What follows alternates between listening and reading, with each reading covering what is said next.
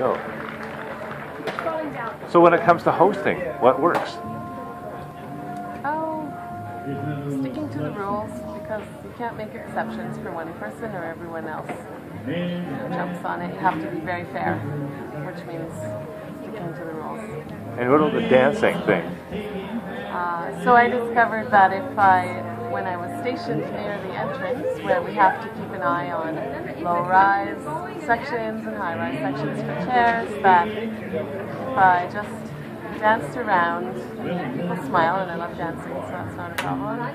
And uh, then also caught people as they're walking in with their chairs, rather than as they're setting up in the section that doesn't work for them. Right. They were a lot ha- maybe not happy even then, but friendlier. Right.